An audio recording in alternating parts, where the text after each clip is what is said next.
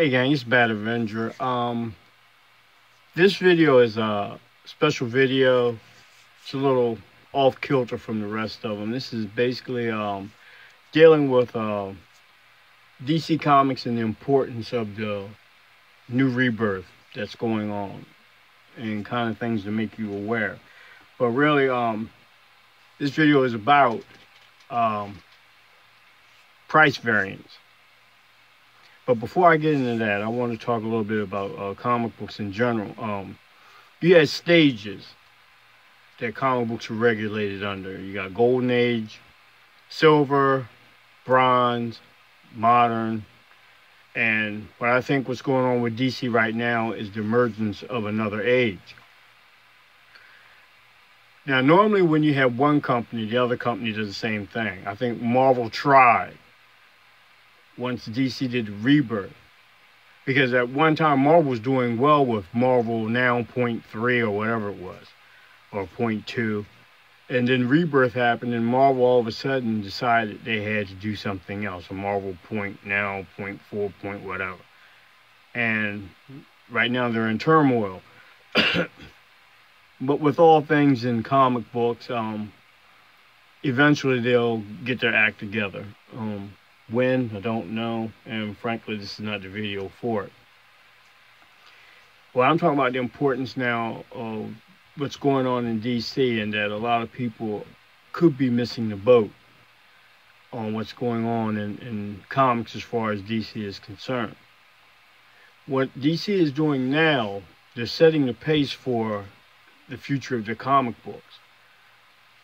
You can tell how they're they're masterfully doing this by having um, their characters, the storylines are more um, integrated, the characters are well thought out, the introduction of old characters, the reintroduction of old characters, I mean, um, sporadically popping up instead of all of a sudden getting hit in the face with a whole bunch of retelling like they used to do when they did like Crisis or um, uh, Crisis of Infinite Earth or um, what was the other one that they had? But it's like all of a sudden everything changed. What's going on now? They're taking their time, and it's great because you're seeing great things happen as far as comic books are concerned. You got characters coming out, reintroduced, such as Dolphin. You got Maxima, she's going to show up in Supergirl, Plastic Man, and Batman Metal. You got the Legion of Superheroes waiting in the wings. And one thing that I did like, they kept some of the great things that happened in New 52 and integrated into the rebirth, especially with Batman. so what I'm showing you, um, all these books that I'm showing you are newsstand editions. And the reason I'm showing you this is because newsstand editions, DC newsstand edition, compromise 1% basically of sales of comic books that they have, which means that 1% of these books are being sold. Or, I mean, are being put out on a newsstand. It's not saying what's being sold. Because um, you can even take that down even more to another 1% of the 1% of these books are being sold. Then you got to deal with the fact that when you buy them and take them up to the register, you got to deal with the sales associate with their gorilla hands. And I've had a few books that I had to rechange because of the handling a cashier has when they have your books in their hands. They don't understand how to hold a comic book. But I digress, getting back to what I'm talking about. the importance of these price variants is that one, in reference to like if this was an Action Comics Direct Edition and it sold, but what didn't sell would still possibly be in the bins at the comic book shop a direct edition comic book, that's what you're facing. Newsstand If it's not sold, it either goes back to where it came from or they get destroyed. There is no back um, box bins of these uh, newsstand books. And it's only a few key places that sell newsstand comics. All right, also, with these newsstand books, there is one drawback the price point. Now, newsstand books cost a dollar more. When you DC um, newsstand books, you can tell them apart excuse me, by the price at $3.99 or $4.99 if it's a um, larger size book. And it also has U.S. Canada underneath the price. And uh, the barcode is slightly different. And the reason I'm saying a lot of people might be missing the boat, because now you're seeing a new age being born. And if you're not attuned to it, you're going to miss it. And comic books are generational, which means every five to ten years, a new generation of readers comes along. So, these books now, you buy them. And see, like I said, I'm a long term collector. I don't really buy uh, books for flipping. I'm not a flipper. Um, nothing against flippers. If that's your call, that's your call. But this video is for those who have time to spend on their hands and really like books. And reason I say that is because back in the day, characters like Venom, Deadpool, um, name the ones that are hot right now. When they first came out, they were not hot. Todd McFarlane's Venom was not hot for a while. Deadpool definitely was not hot for a while. You know. And Harley Quinn, well, yeah, Harley Quinn. You know, it took time. And once they became hot, the books became valuable. So wouldn't you think that you would like to have been at that time when they first came out and you just bought them for 35 cents, 60 cents, or $1.25, which was the cover prices on those books. Now you're hunting these books down. I mean, people are buying these books. They're paying hundreds of dollars for these books when if you had the foresight back in the day, if you was around at that time, you picked them up for cover price. That's what I'm trying to establish and make you aware of when it comes to comic books. Let me talk as well as show books. This book, Action 976, is the reintegration of the New 52 and the modern Superman into one. Okay? And all these are, like I said, price variants that I have picked up and I have many more, but I can't, I'm not going to sit here and make a two hour video showing these price variant books. I just picked out key books that I, I will show you that, that kind of have importance. And this is the reemergence of Superman, our Superman that we have now. This book is the key book for all the DC books that are coming out. This is the beginning, and it even shows a slight reorigin of things that have happened such as the fact that you don't see the fact that Batman, I mean Superman and um, Wonder Woman had a relationship.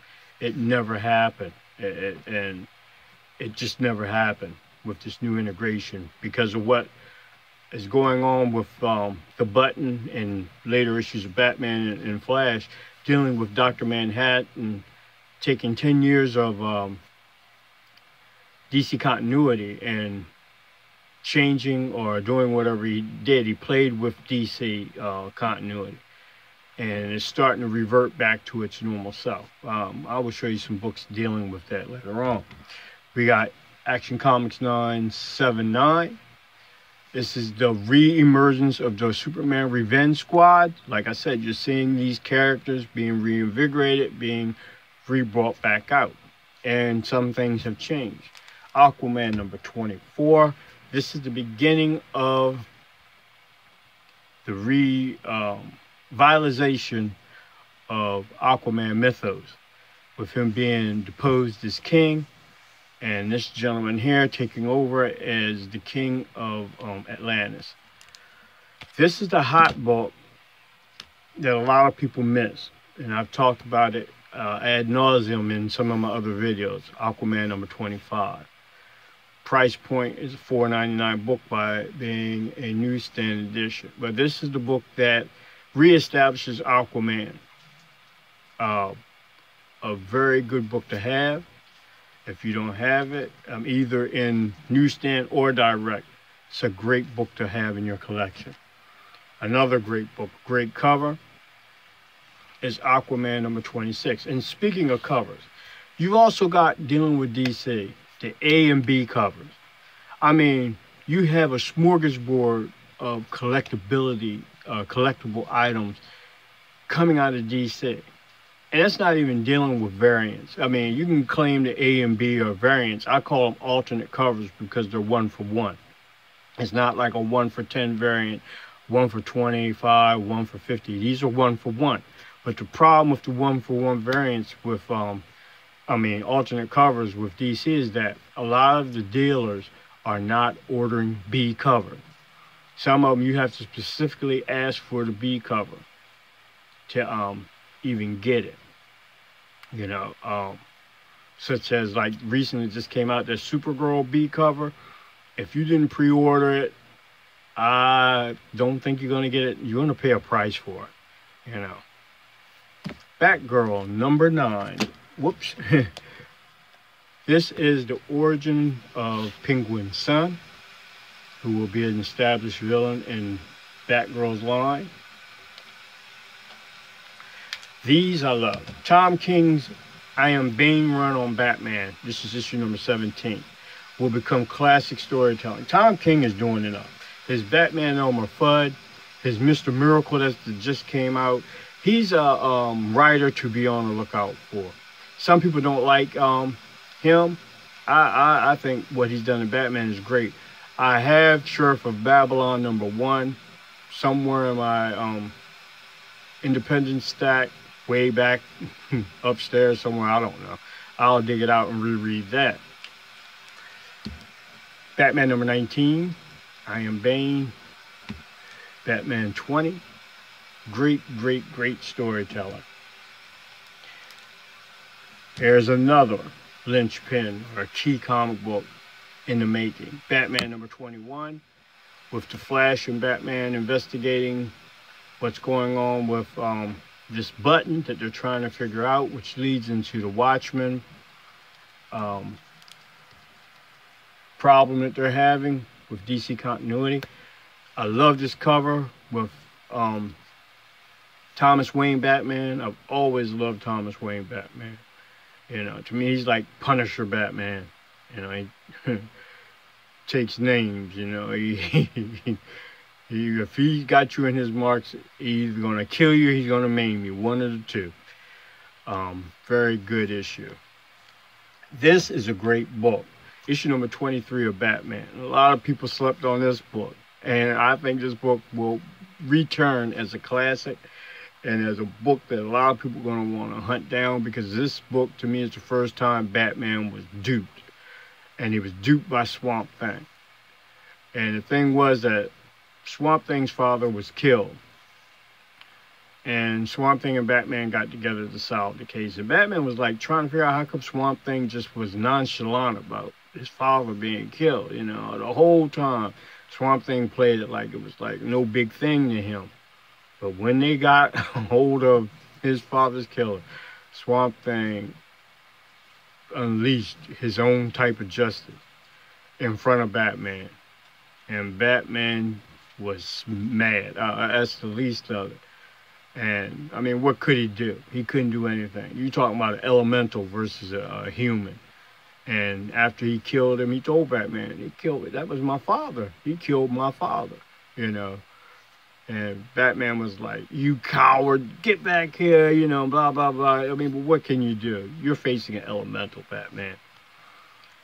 Here's another classic book that's um, rising in price, the Batman number 24, with uh, him proposing marriage to Catwoman, which to me fits, you know, it fits a lot of things are going on in Batman. And if you got a keen eye, you're seeing that Batman is having second thoughts of being Batman, especially after meeting Thomas Wayne and Thomas Wayne telling him raise your family. Don't do this. You know, have a life. You know, only thing holding Batman from doing that is the fact that he's scared to be Bruce Wayne. If any fear he does have is the fear of being a normal man, he cannot fathom being out of that suit. He's more Batman than Bruce Wayne. Here's some more classic Tom King that's in the making. Batman number 25, The War of Jokes and Riddles, Part 1. Part 2, number 26. Part 3. Great covers, great covers. And that's a Riddler cover, number 27. Number 28. A lot of people have been having problems with this um, storyline. It says too slow. I think it's paced just right. That's number 28.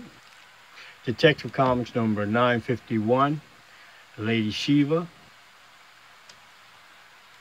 A great cover, 954, Batman facing off against uh, Ra's al Ghul or Ra's al Ghul.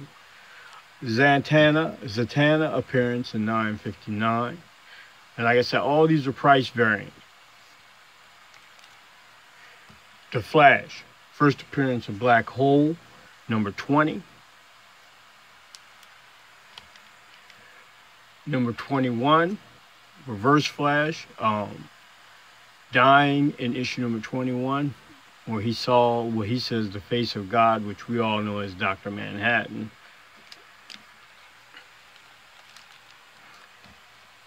Number 22, with Jay Garrick um, cover. Seems like Flash and Green Lantern appearances always command a premium. Um, and this is uh, issue number 23 of Flash Green Lantern, number 24. Number 26, the first appearance, uh, cameo appearance of Negative Flash, which I feel is worth um, taking a look at. First full appearance of Negative Flash in number 27.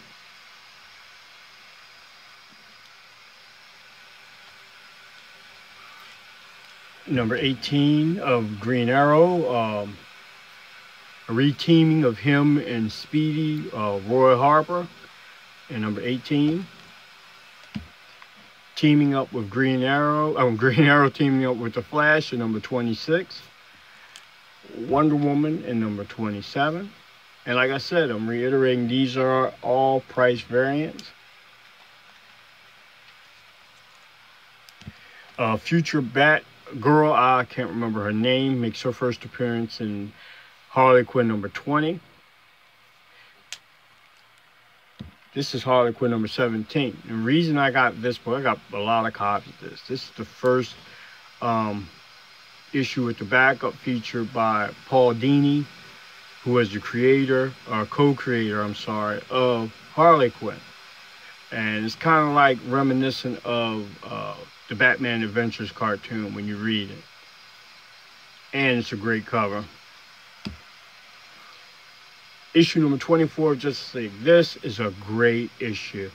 For one thing, I love Mera. I love her showing her powers and that she's not a slouch, just like Aquaman is not a slouch, and how she can basically, she defeated the entire Justice League, basically, in this issue. She showed them what she was made of and she's mad because she thinks Arthur is dead uh, currently. Justice League number 26 just as recently came out, uh, introducing the children of the Justice League. I don't know. This got to be from an alternate um, universe. Um, it's interesting, but it's too early to tell what's going on with this. I got the first appearance, first issue of Justice League of America. Batman's new team, which seems pretty cool. Nightwing, number 16, um, with uh, Dick Grayson versus Damian Wayne. You know, it's funny about Damian. Damian always seems like he has to prove that he's the best Robin, you know. But I really did dig when they had Dick Grayson as Batman when Batman was um, presumed dead.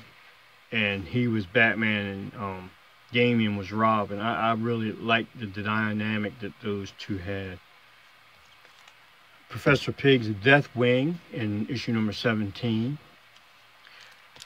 Dr. Hurt reintroduction in um, issue number 19.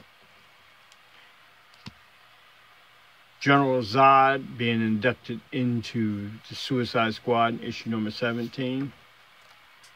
Now, this one I missed the boat on, so I had to pay the price for this one, but I am so happy to have it.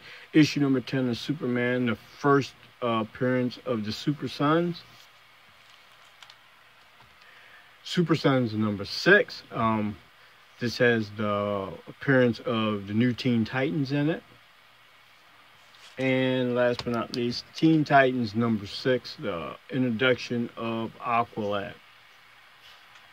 And like I was stressing, you know, this is my opinion, and you can take it with a grain of salt. But like I said, I've been around for a while, since the 70s, and I've been buying books, and I've had a lot of books that I bought at cover price, and books are like in the thousands, like uh, 181 Hulk and um, a couple other books. I mean, I've had them and I've let a lot go. A lot of them I let go sooner than when I should have.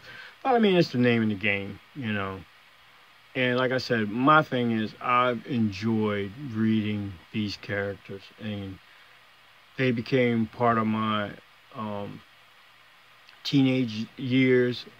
Funny books were more of my childhood years, but my teenage college years, um, superheroes all the way, you know. And you get to know these characters in and out, and you appreciate that with these new writers that came aboard, that they're taking care of them, you know. Especially in DC, I can't say too much about, you know, the other one. What's going on with that is kind of like a travesty, um, and it's sad because they really the writers and artists that they got over there. Not all, don't get me wrong, not all, but quite a few of them. And they have no love, no respect for the characters. They want to use the characters for their own means. And that's not how you write comic books. You know, you have to love what you do. You have to love the characters. You have to love the history of that com that character. You know, don't come in with your own, I'm going to use this character to do my own agenda. You know, there's another platform for that, you know. That's what's going on with the other company. But with DC, like I said, they're going through a renaissance right now. And if you're not careful, you're going to miss the boat and you're going to end up paying for it in the end run. You're going to end up paying a lot of money for books that you could have gotten um, at an early early time, right off the bat, right off the press. You know, open your eyes, read, get to learn characters, learn them. By reading and learning these characters, you'll start noticing things about them that yeah, this character is going to be hot. This character is definitely going to be hot. Oh, this character's lame. He's not going nowhere and of course there are the few that, that buck the system, you know, that you would think would be hot that never made it to hot status. You got some that people are wishing were hot and just aren't hot, like Darkhawk, Moon Knight. I love both those characters. You know, I'm one of the ones wish they were like, but really they're not. I mean, you can get their books cheap, dirt cheap. You can get Darkhawk in a dollar bin all day long. Same thing with Moon Knight. Even um, um, Off covers. You can find them in the dollar bin. I've found quite a few of them, you know. Then you got some characters that amaze that become hot. Squirrel Girl, I still can't figure that one out. I can't figure it out. See, her first appearance, don't get me wrong, I like Steve Ditko art, but that was cruddy. That was some cruddy stuff going on. That looked ugly. I mean, she's all ugly. I mean, not trying to be funny, just funny looking, like a comic book character, a cartoon character more than a comic book character. And that's what kind of offsets me with, with the whole Squirrel Girl initiative. She doesn't even fit with uh, other characters in comic books. You know, she she seems like she's more for um um, um, Animaniacs or something, you know, to be honest. But like I said, getting back to where I should be, um, yeah, these uh, books, newsstand books, I know they're hard to find, but the dividends you can reap from them in the years to come is just astronomical. I mean, because there's not many of them. And then on top of that, the ones that are being sold, there's not many of them being sold. Like I said, 1% of them are out there. And then if you take into account the ones that don't sell, they destroy or send them back. You don't see them no more. You do not see them no more. it, that's all I can say. You don't see them anymore. And for a dollar more to pay for them, I mean, uh, just say, and time will tell. And I could be wrong, but judging by what's going on, I think I'm right. Well, this is Bat Avenger. Y'all guys enjoy yourself. Um, love each other, you know. You know, just love each other. God bless everybody, you know. And like I said, this is a fun um, hobby. It's got so many facets, so many things you can do with it. I mean, you got all types of different types of collectors and comic books. And don't knock one person because they like this or they do things this way. I mean, we all got our own way of doing things, you know. And nobody's perfect. Nobody. You do what you feel is best for you. And on that note, I am signing out. Y'all guys take care.